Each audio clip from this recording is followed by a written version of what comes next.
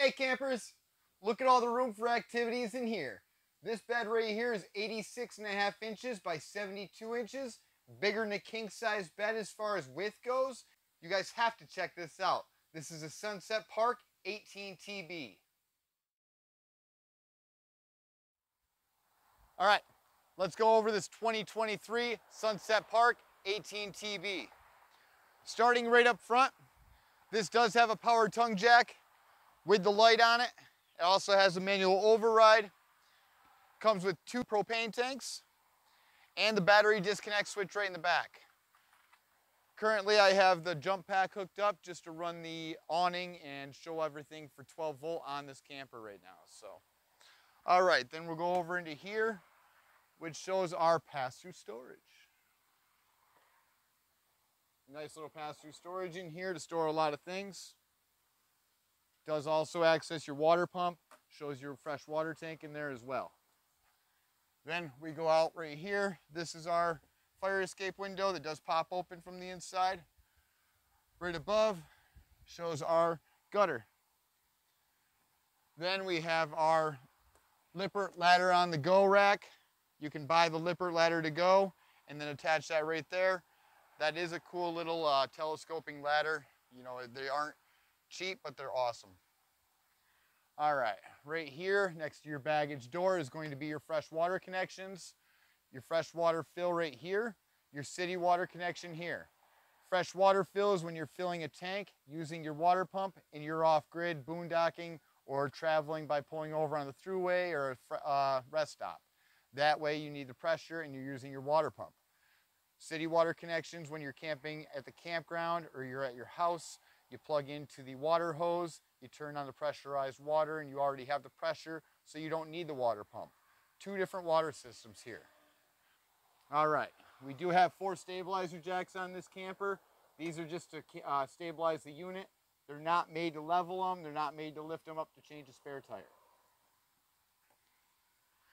All right, water heater here, tires, coaxial cable if you want to get a TV inside and get a uh, you know cable or Wi-Fi. Right here is your outside shower with the hot and cold water with your sprayer that comes out. Right here is your back flush tank so you can flush and sanitize your black tank system. Down below is our dump station and our fresh water, our low point drains. So Gray is okay, black is for crap. Gray is for drains, black is for waste and for your toilet. Back here you do have a square style bumper where you can replace this end or take out this end and you can actually put sewer hoses in here or just store things inside of here. Or you can buy like different accessory mounts like this spare tire here that is connected by a bracket on there. That bracket can be moved around or you can put things like bike racks on here or even like grill mounts. All right, well, we're at the back. We'll look at the porch light up top. You can get the awning, uh, back awning for this if you want to. Doesn't come on this one, but it is available. All right. In the back, we have our solid steps down here. I love these solid steps. All we have to do is make sure our doors open all the way before we open and close them. And they pop right in like that. For easy storage, no debris getting all over the place. I personally always put storage blankets on the inside so if it gets wet out, I can just dump the water on something that absorbs it rather than just a welcome mat that doesn't really absorb too much water. It takes the dirt fine, but not the water too much. So then just unlatch here, I always pull from the center and just let it down. But the thing I love about these is I don't have to worry, I don't have to look at it. I know that I'm on a solid step. I know that I'm not going to have to play a balancing act when I'm going into it. Before we walk inside, let's just go over on the other side, just point out anything else. Right above the door up here is also a bracket for a backup camera. It is a common RV bracket, universal RV bracket if you just want to buy the backup camera or security camera for it.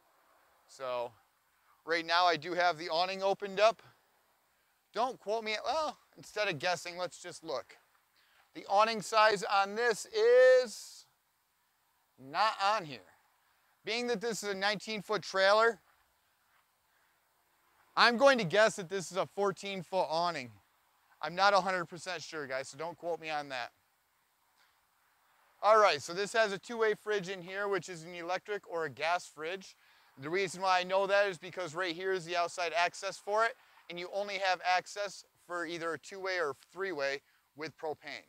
So, and at this stage of the game, we're only playing with two-way fridges. This is a propane or electric. Down below, we have our furnace exhaust, outside speakers, 110 outlet here,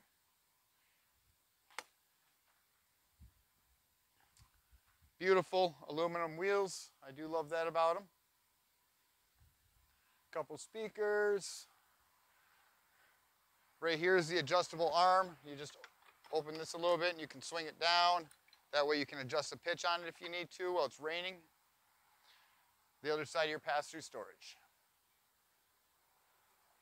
Now, let's go inside and check this thing out. So the overall length on this trailer is 19 foot long. The overall height on this trailer is 9 foot 11 inches. Um, as far as the width goes, we're talking seven and a half feet. And as far as the interior height goes, we're talking six and a half feet. I'm six foot two and have plenty of room in here. So as soon as I walk in, directly to my right hand side is this beautiful large residential style fridge. This is a two-way fridge. Let me get inside the door so I can pop it open for us. Nice and large fridge. Nice large freezer.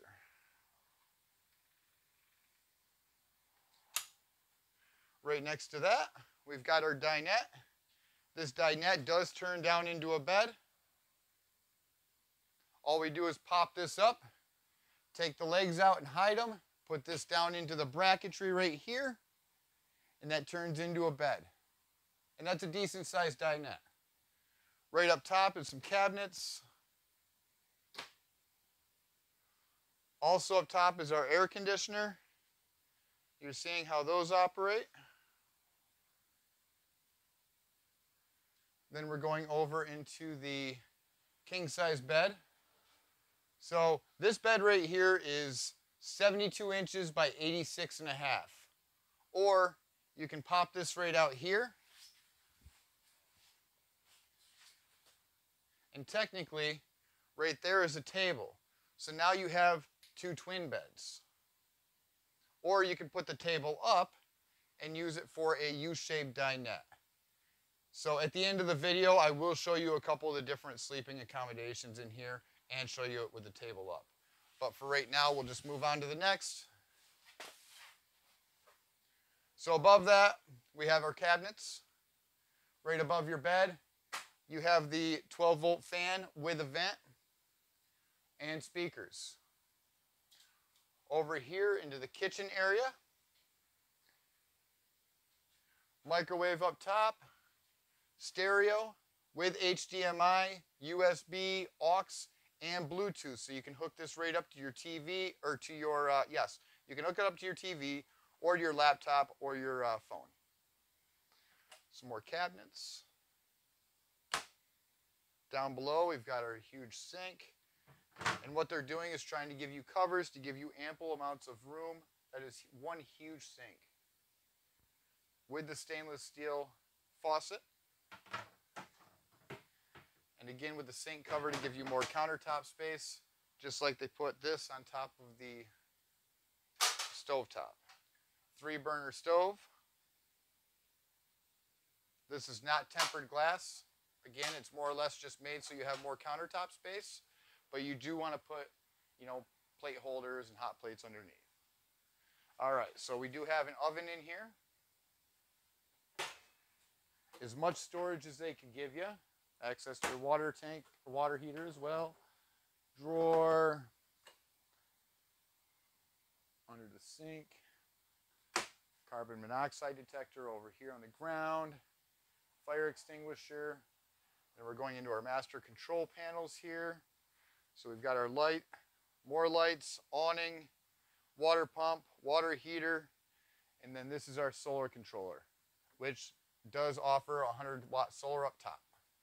Speaking of up top, you do have a walkable roof on here as well. Then we go into our actual dry bath, but right above all of our master control panels is going to be where we can hook up our TV with a TV backer plate and the connections to plug it in. HDMI, coaxial, 12, uh, 6 volt or 12 volt, and then our 110 outlets. All right, so now into our dry bath. So we've got our toilet with our fan and our vent above it. And then we go into our shower with our skylight above it.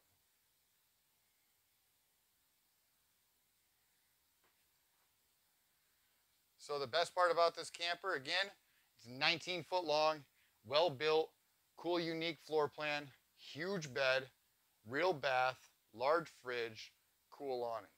All of this is only 2,920 pounds. It's only 19 foot long.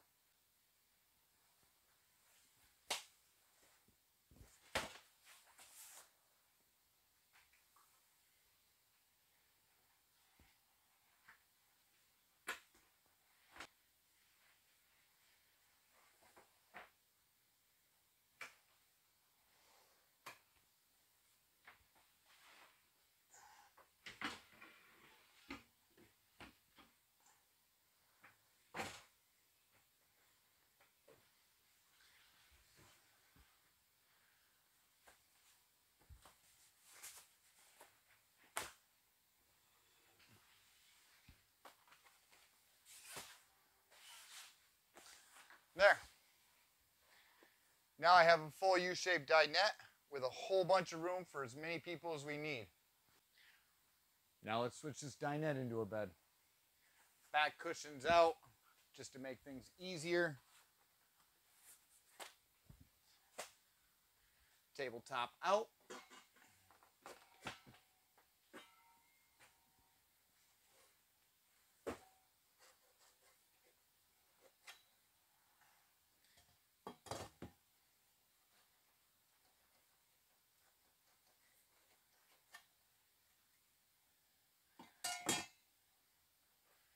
Tabletop down into the bracket.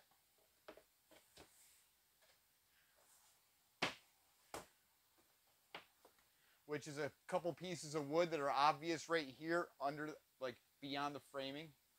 So when you do look at it, it's pretty noticeable. Take the back cushions, and right here is your bed.